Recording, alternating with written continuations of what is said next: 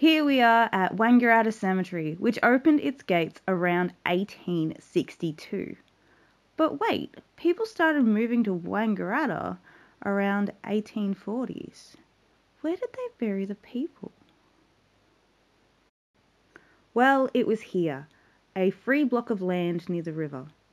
This is the monument that was erected in 1926 in remembrance of those that were buried here. Sadly, no one is really quite sure how many people are buried here, and the ones they do of are listed on the side of the monument. Note that this will be the first of many little pop-ups in the right hand corner that'll tell you a little bit more about the person on each headstone, or in this case, on this monument. Well, now that we've got that sorted, best we go into Wangaratta Cemetery.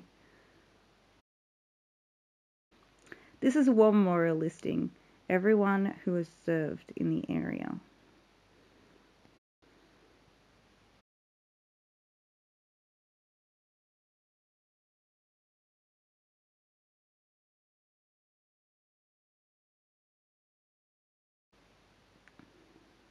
Let's start in the lawn cemetery, or as sometimes I like to think of it as, the lawn filing cabinet of the dead.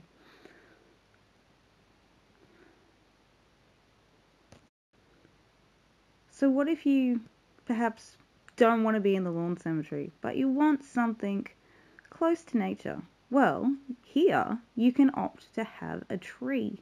And as you can see, there's some plaques underneath the trees.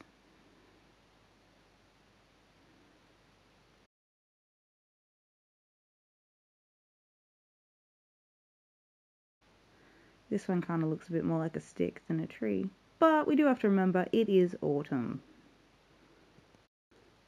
So Wangaratta Cemetery is pretty big. I don't really want to undersell that, but it is pretty big. So I'm just going to show you just the sheer size of the lawn cemetery. I can't help but think it kind of looks like large dominoes and a small part of me has this urge to want to try and knock them over to see if they all fall down. Here is the memorial wall. You may have seen one in my Cobram video. The best part of this one is that you can see the shelves that the ashes get slotted into before the plaques get put on. And I don't know, to me it kind of looks like an old post box that you find at the post office. So this is the children's section, and I hate showing children's sections because it's so unfair that children sometimes die. But it was the sheer size of this one that sort of caught my attention. It's just shocking to see all these small headstones lined up like this. These are the war headstones. There are six here uh, from World War II, but there are four others from World War II scattered around the cemetery, and there are five from World War One scattered about as well. Unfortunately, this one has fallen down. Uh, luckily, someone was kind enough to reassemble it like a jigsaw so you can still somewhat read what it says. So if you look to the right, you'll see the article about how Frederick died in a car accident. I just love how simple this headstone is. It's exactly what you think of when you think headstone. This is a Catholic reverence plot. I quite like the fence, I think it's quite pretty.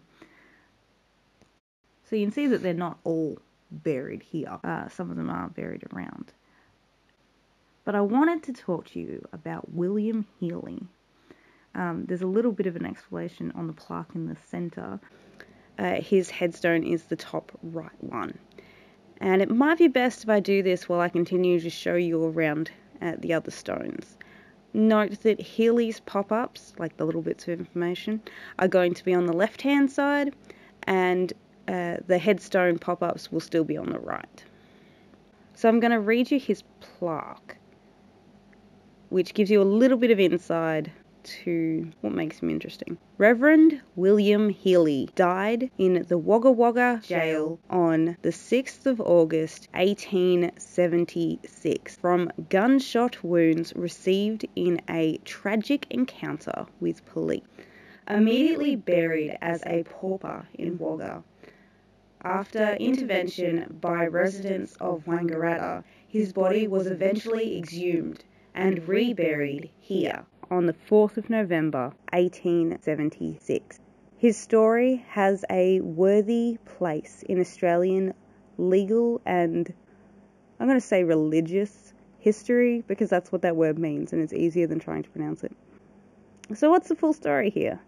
Well, I guess to some extent you have to know a little bit more uh, about Reverend Hely himself, who is described as being somewhat unhinged in the mental persuasion and enjoying of lots of good drinks. He was an Irish priest who travelled around a bit. Anyway, he found himself in Wagga at some point, and the police identified him as being someone else, a fellow by the name of Turner, who a couple of weeks prior had uh, stolen some tobacco and some clothes. So when he went up to his room, they came up with their guns and knocked on the door in whatever fashion they tend to do it back then, which I don't know. Uh, where they're like, you know, Turner, Turner, come out, come out, I assume. And obviously he didn't answer because that's not his name. So they busted in and they shot him in the arm and chest, I believe, and then dragged him off to Wagga Lockup for the night, where he died. Then the police caught the real culprit, Mr. Turner, but by then it was too late, and Reverend Hely had been placed in the ground at Wagga. It didn't take long for news to spread about what had happened, and, well, to say Wangaratta was furious, for those times may have been a touch of an understatement. It really rattled the Catholic community, and they were perhaps the ones that really pushed to have him brought back and treated with the respect he perhaps deserved. I suppose the other part of this you need to acknowledge, and in why it actually says at the bottom of it, his story is worthy in Australian legal and uh, religious history is because perhaps it rattled the Kelly family more than most, and it's considered a relevant aspect to the Kelly family history and how we know Ned Kelly today. And perhaps he might not have turned out quite the way he had if that story hadn't gotten to him and that family. To reinforce the idea that police were bad and it was completely okay to go up against them. So, if you want to perhaps know a little bit more about Ned Kelly and how this relates to Reverend William Hely, uh, then it's actually in the Ned Kelly book, and I'll post that to the left so you can see the book I'm talking about. I wanted to show you these headstones because they're just the stones and there's no uh, beds. Uh, and the big one is Nicholas Leahy. Now, Nicholas spent so much time in the newspapers over the years that it was easier to show you a screen with a, a, sample of some of the reasons he was in the newspaper than it was to show you them one at a time in the corner. Nicholas was pub owner in Wangaratta, and for every person that owed him money, he also owed others money. Besides that, he was an active member of the town and was often a good point of call for the police in the area with any investigation. He was noted in a suicide report as having brought the situation of the man to the police's attention shortly before he ended his own life. But one of my favourites of Nicholas's articles has to be allowing a pig to wander. Nicholas Leahy was charged with allowing a pig to wander in a public place. Dismissed. So even the judge thought that was just silly. The other one I find somewhat amusing is Nicholas had to ask the public in the public notice for permission to use a kiln on his allotment, so his land, for an allowance of bricks. From what I understand, he was going to use those bricks to build or add on to one of his existing pubs.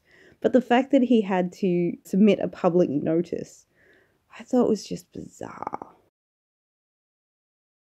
So, have you ever noticed the dots inside the letters once the metal lettering has fallen out? It's actually there to hold the metal in. From what I'm given to understand, they carve out the holes as anchors basically. So when they pour the lead in, uh, obviously the headstone's lying flat at this moment in time, uh, it settles in and it holds better and it lasts longer. It was the font of this one that caught my eye.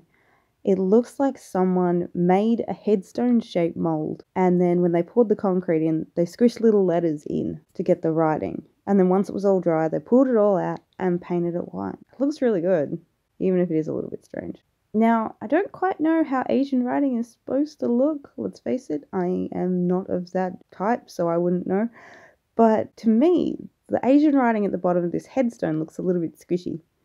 But the headstone overall, look how cool is that with the little spiky edges and then the black to highlight. It's just, it looks so good.